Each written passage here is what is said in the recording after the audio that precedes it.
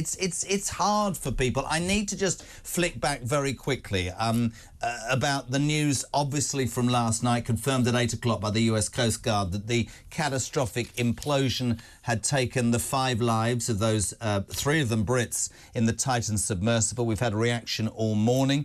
Debris at five o'clock, and then that announcement by the Coast Guard at eight. A man who's been with us all week on talk. I just wanted to get an overall view. Rear Admiral Roger Lane-Nott former senior flag officer of the Royal Navy and NATO commander of submarines. Roger, you've been an absolute uh, fantastic uh, sidekick and, and person with such insight. Can you just, the morning after, for want of a better phrase, my friend, um, we've had lots of people ringing us and texting us and saying, regulations must change. This can never happen again. And putting to one side the, the tragedy and obviously what it means to the families and our hearts and uh, go out to them. Things will change from this point on, won't they, Roger? Oh, I'm sure about that. I, I certainly, um, once they in, investigate, and whoever's going to do that, I'm assuming it'll be the U.S. Coast Guard or the U.S. government, even, or maybe a combination of that. Um, um, but there's no doubt that there will have to be certification uh, and a better approach to how these things are built and then certified as being safe. Um, you know, it, it's not rocket science. Effectively, every shipping, every vessel, merchant vessel, military vessel, uh, um, has to go through that process. Uh, but that's laid down in law, and of course, you can't get it. You can't get insurance if it's not um, registered with Lloyd's List and it's done its safety procedures.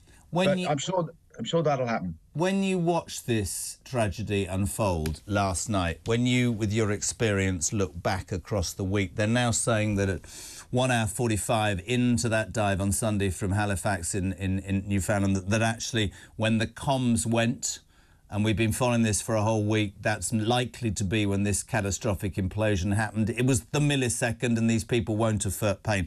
T tell me honestly, as an expert, did you have that underlying feeling for a week? I mean, we were told it was search Without and doubt. rescue. Did you? I, I made the dis- I, I, decided on Monday night uh, when they lost comms uh, that that was probably it, uh, uh, and I tried to follow all the things.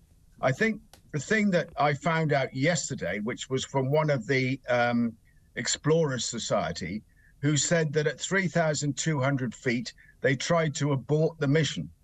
Now, I didn't know that, and that mm. wasn't public, and it was all on the Explorers um, uh, WhatsApp, um, uh, you know, thing.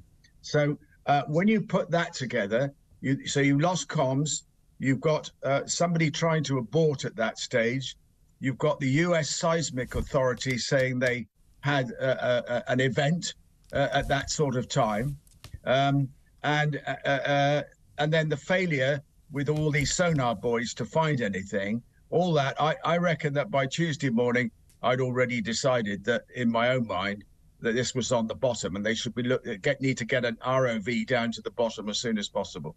It's um it is a tragedy. I hope that lots is learnt from it. Um it is a story, and that's the wrong sort of description uh, that sort yeah. of captivated everybody. It's sort of, to me, and Benedict's still with me, it's almost played, it sounds terrible, but I know what I mean. It's almost played out like a, a film the last Yeah, it, it, has, it has, it has. And I, I mean, what I think I'd like to say is that I think Talk TV has handled the whole of this week um, extremely sensitively and done its best to stick to the facts and not speculate and I'm I'm I'm impressed by the way you've handled it. Thank you, Roger. And you've been kind of I, ju I just I felt that last night when we were were on air at seven o'clock. And, and, and anything you say is speculation. Of course, we'd all heard the rumours. I heard rumours that the mother of that the 19 year old was on board mm. on board the, the, the rescue ship above yeah. literally what what the hell is she going through i heard from Terrible. also i mean i spoke to the guy Bart Kemper yesterday i said this earlier who was one of the co-signatories on a letter five years ago to OceanGate saying this isn't good enough. But it's not at that time that you can say that. We've spoken to experts like you, Roger, all week who have been so candid in your synopsis because, of course, like the rest of us, you don't want to say. But but I think for me, actually, when I when I heard and, and, and I, I don't know the sea, you know the sea, and I'll keep going back to this. When I heard that the water pressure is 360 times greater than being on land, when you're, when you're told that stat, Roger, do you remember we shared this on Tuesday, that it's like nine tower blocks made of lead on your head? And then for me, as a complete layman, right, I see this I mean, it looks minute. I'm, you described it on Monday as flimsy. I guess myself as well Monday night. I thought, well, how can that survive that pressure, Roger? Do you know what I mean? Well, well, what's interesting, of course, this was its um, seventh time that it had mm. been down. So it had survived it okay, but uh, the engineering, I think, was flawed in many ways, and we'll find out in due course wh- whether that's true or not. But I, I do think the engineering and the and the, the build quality was flawed, um, and, and, of course the the actual framework that was found on the bottom that was fundamental to the structure mm. and the resilience of that vessel in total. So once that, so I I I, I would say there was some form of um, leak of some sort. I, I, thought initially it was a power failure, and it might well have been that, but I think it was more catastrophic than that, obviously. Um, um, Roger, I have nothing but admiration for you, and I must just tell you this: Terry Cavender, a good friend of my, mine who's uh, been in the army now retired, um, sent me a text yesterday going, "You need to get your act together, Kyle." Rear Admiral Roger Lane Nott. You should address him as Admiral. Very unimpressive and be respectful in future. But Roger, thank you so much for being with Talk All Week on this. We do so appreciate it. Uh, this story, of course, Benedict, will continue mm. um, and we'll continue to talk about it. Uh, next as well, we're going to talk about Brexit. Seven years today. Can you believe that?